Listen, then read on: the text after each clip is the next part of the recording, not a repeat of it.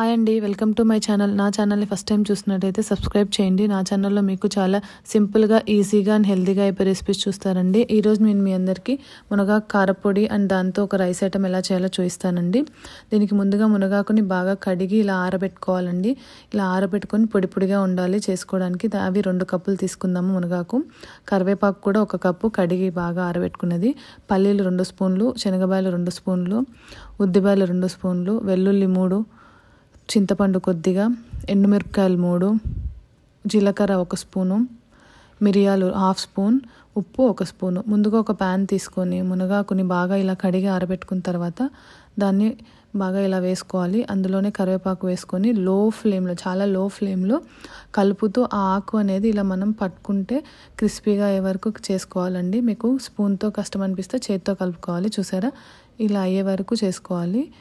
తర్వాత మనం ఇది కొద్దిగా చల్లారనిద్దాము ఈ లోపు మనం ఇందులో అదే ప్యాన్లో పక్కన తీసుకొని పల్లీలు శనగబాయలు వేసుకొని మీడియం ఫ్లేమ్లో కొద్దిగా రోస్ట్ చేద్దాం. తర్వాత ఉద్దిబాయలు తీసుకుందాము. అవి ఒక థర్టీ సెకండ్స్ రోస్ట్ చేశాక ఉద్దిబాయలు వేయండి. ఉద్దిబాయలు తొందరగా రోస్ట్ అవుతాయి. అందుకే తర్వాత అవి కూడా ఒక థర్టీ సెకండ్స్ తర్వాత జీలకర్ర మిరియాలు వేసి బాగా ఒక రెండు నిమిషాల పాటు లో ఫ్లేమ్లో బాగా రోస్ట్ చేయండి. ఇలా కలర్ చేంజ్ అయ్యే వరకు ఇందులోనే మనం ఎండుమిరపకాయలు వేసుకొని ఒకసారి బాగా కలుపుకొని రోస్ట్ చేసుకుందాము.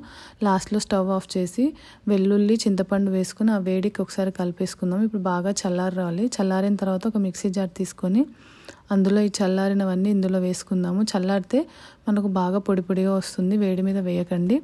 ఇందులోనే ఉప్పు వేసి బాగా పౌడర్ చేసుకుందాము. చూసారా? ఇలా బాగా పౌడర్ చేసుకున్న తర్వాత ఇప్పుడు మనం ఇందులో మనం మీడియం ఫ్లేమ్లో రోస్ట్ చేసుకున్న ఆకు ఉంది కదా అదంతా ఇందులో వేసుకుందాము.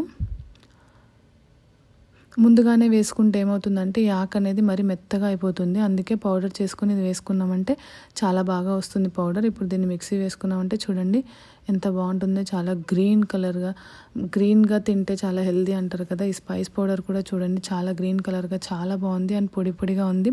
మీరు హాస్టల్కి కానీ పిల్లలకి లైక్ బ్యాచులర్స్కి మీరు ఇంటి నుంచి పంపించాలంటే ఇది పంపించవచ్చండి ఇది చాలా హెల్దీ అండ్ కారపొడి అంటే అన్హెల్దీ కాకుండా ఇలా హెల్దీగా పంపించారంటే వాళ్ళు కూడా ఈజీగా fifteen days to one month వరకు ఇది స్టోర్ చేసుకోవచ్చు. తింటారు. ఇలా ఒక ఎయిర్ టైట్ కంటైనర్ ఏదైనా గ్లాస్ జార్లో లేకపోతే ఎయిర్ టైట్ బాక్స్లో ఏదైనా దాంట్లో పెట్టి పంపించండి ఇది నెయ్యి వేసుకొని అల్లంలో తిన్నారంటే చాలా బాగుంటుంది. చూసారా? అసలు మెత్తగా లేకుండా పొడి పొడిగా చాలా బాగుంటుందండి. మిరియాలు కూడా వేసాం కాబట్టి ఫ్లేవర్ చాలా బాగుంటుంది ఇందులో. సో మీరు కూడా ట్రై చేసి మీ పిల్లలకి హాస్టల్స్ కానీ ఎవరైనా రూమ్లో బ్యాచిలర్స్ ఉంటే వాళ్ళకి పంపించండి. చాలా బాగుంటుంది. ఇప్పుడు దీంతో నేను రైస్ ఐటెం ఎలా చేయాలో చూపిస్తాను.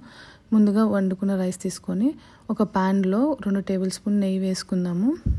పోపు పోపుకి కావాల్సినవి తర్వాత కావాల్సినవి జీలకర్ర ఆవాలు శనగబాయలు ఉద్దిబాయలు కొంచెం ఎండుమిరపకాయలు వేసుకొని ఒక థర్టీ సెకండ్స్ అలా రోస్ట్ చేసుకుందాము.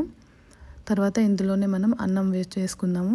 మనం కుక్ చేసుకున్న అన్నం వేసుకొని ఒకసారి అలా బాగా అనుకొని దానిపైన మనం పౌడర్ వేసుకుందాము. మీకు స్పైస్కి తగ్గట్టుగా మీ టేస్ట్కి తగ్గట్టుగా పౌడర్ వేసుకోవచ్చు. ఇందులో మనం చింతపండు కూడా వేసామండి. కొద్దిగా మధ్య మధ్యలో పుల్ల పుల్లగా కూడా ఉంటుంది. చాలా టేస్టీగా ఉంటుంది. కరివేపాకు మునగాకు ఇవి చాలా హెల్తీగా ఉంటాయండి. మీరు ట్రై చేయొచ్చు. ఆ పౌడర్ అంతా వేసుకున్నాక ఒకసారి బాగా కలుపుకోవాలి. అంత రైస్కి అంతా బాగా కోట్ అయ్యే వరకు. ఇది నెయ్యితో చాలా టేస్టీగా ఉంటుందండి. మీకు నెయ్యి ఫ్లేవర్ ఇష్టం లేకపోతే నూనె వేసుకోవచ్చు. ఇందులో కొద్దిగా మీరు టేస్ట్ చూసి ఉప్పు వేసుకోవాలండి. మనం పౌడర్లో సరిపడా ఉప్పు వేసుకున్నాము.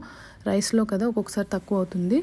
మీరు టేస్ట్ చేసి మిక్స్ మీకు కావలసినంత కొద్దిగా ఉప్పు వేసుకొని నేను ఇక్కడ హాఫ్ టేబుల్ స్పూన్ వేసాను వేసి మొత్తం మళ్ళీ ఒకసారి కలుపుకుంటున్నానండి. ఇందులో వేసినవన్నీ మనం చాలా హెల్తీగానే వేసామండి. మీరు పిల్లలకి చేయాలి అనుకుంటే ఇంకా కొద్దిగా స్పైస్ తగ్గించి వేసుకోండి. చాలా బాగుంటుంది. చూసారా ఎంత పొడి పొడిగా వచ్చిందో అన్నం కూడా. మీరు కూడా ఇలా ట్రై చేసి మీ పిల్లలకి హెల్తీగా చేసి పెట్టండి.